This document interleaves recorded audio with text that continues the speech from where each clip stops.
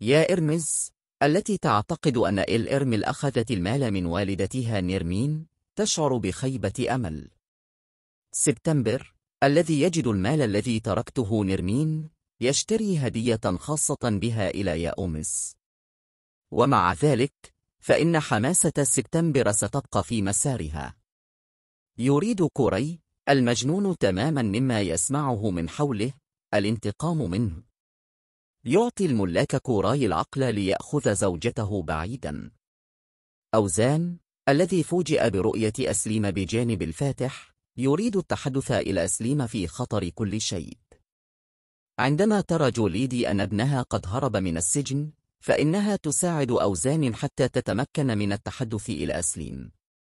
سوف اثنين من عشاق تكون قادرة على البقاء وحدها. يأتي نوران ونيرمين أخيرا إلى المنزل الذي يقيم فيه البدينون.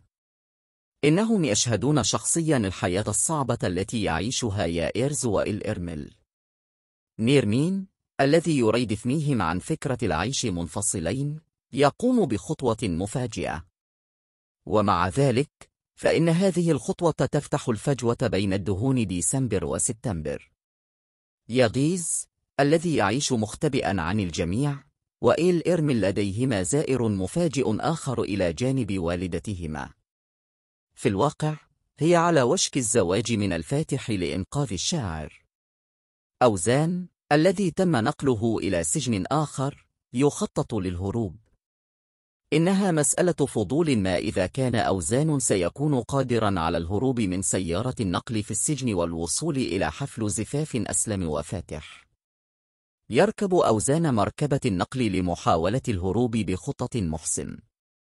في الواقع يعامل والدته وجوليدي بشكل سيء للغاية وغريب بسبب الأدوية التي أعطاها له شول. يأتي إلى رشده بهدية الشاعر ويدرك أنه بحاجة للهروب من هناك. نورا ونرمين يعثران على سبتمبر ويا أشمس يقسم كوري على الانتقام في سبتمبر ويا أومس لا يستطيع الشاعر الهروب من السجن. وقال أنه سوف ننشغل. يتم اتخاذ قرار بالنقل إلى سجن آخر. يقول محسن إنه سيساعده على الهروب. في الواقع التسجيل الذي أخذته إركول مني عديم الفائدة.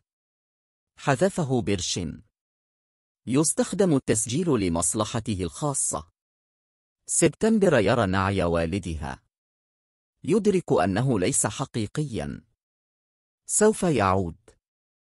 نيرمين بعد سبتمبر مع ابنها. كوري يتعهد بالانتقام. طارق يريد الهدية من يا إرمار. سبتمبر يرى يا أرمز بيع الليمون. يغضب لأنه يخفيه عن نفسه. لن يرى أي منهما نعي يا إرمار. يرى يا إركر هدية في طريقه إلى ترإرك يعيش في جوليدي ويعود إلى المنزل ويبقى هناك. يعترف ملك أمام نرمين بأنه يحب يا إرمز وأنه أعلن بنفسه. لن يكون نيرمين سعيدا بهذا الموقف. الشاعر يهرب من السجن. في الواقع يتلقى تسجيلا يعترف فيه إرمول بعلاقته مع جي أوشخن. أجبر على العيش في نفس المنزل مع فاتح ووالدته إيركول. يبحث أسل إيركول عن طرق للوصول إلى أوزان من خلال التخلص من تهديدات إيركول.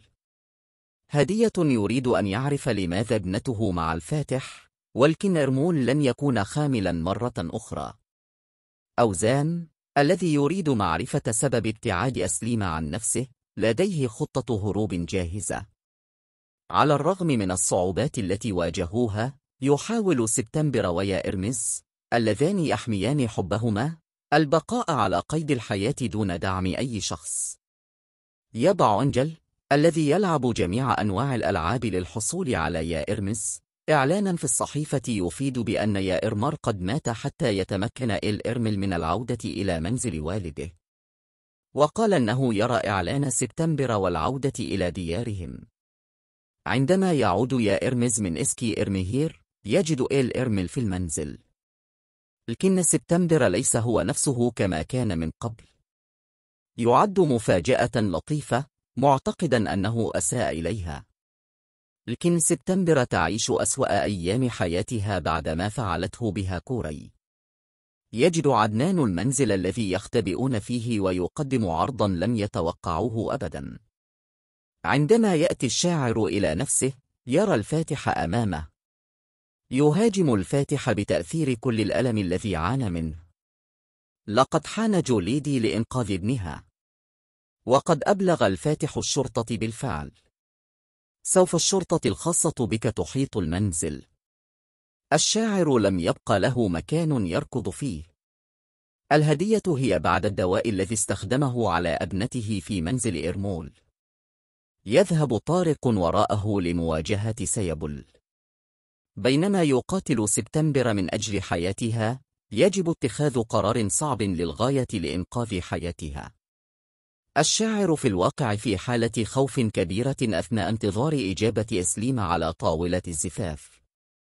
سبتمبر ويا إرمز يقيمون في منزل جبل أوزان لكنهم يغادرون هناك بسبب حبس الرهن الذي جاء لعائلة أوزان يلجؤون إلى صديق قديم ليا إرمز يدعى سينك.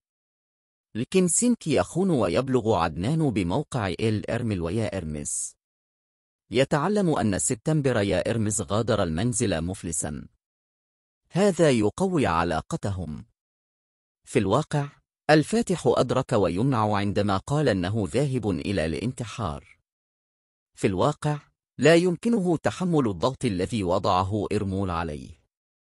من ناحية أخرى يواجه إرمول والفاتح مشكلة الاستمتاع بكارثة جوليدي التي تمت مصادرة كل شيء بحبس الرهن. بينما تبحث جوليدي وطارق عن الشخص الذي فعل ذلك بهما يشعر سيبل فقط بأثر الفاتح في الأمر. ممتاز يحزم حقيبته ويهرب. يخبر برشين أوزان أن فاتح وأسليم معا. الشاعر الذي لا يستطيع تحمل هذه الكلمات يعاني من انهيار عصبي. ثم يرى الصور التي أرسلها برشين. يلجأ ملك إلى كل الوسائل لمنع إل إرمل ويا إرمز من الهروب. يبلغ عدنان ونرمين. يجيز يجب أن يترك كل شيء لديه لمغادرة المنزل. على الرغم من هذا وقال أنه لا يستسلم وقال أنه يهرب مفلسا مع سبتمبر.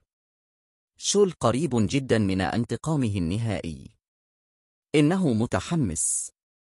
سبتمبر ويا إرمز الذين اجتمعوا أخيرا بعد انفصال طويل بينهما تخطط للانفصال دون إخبار أي شخص. من ناحية تريد سبتمبر المتحمسة لمقابلة أحبائها الحصول على دعم عائلتها من ناحية أخرى. والملاك يتبع يا إرمز خطوة بخطوة. لقد أحببتك مرة واحدة. انتهى فيديو المعلومات الخاص بنا هنا. لا تنسى الاشتراك في قناتي وتشغيل الإشعارات.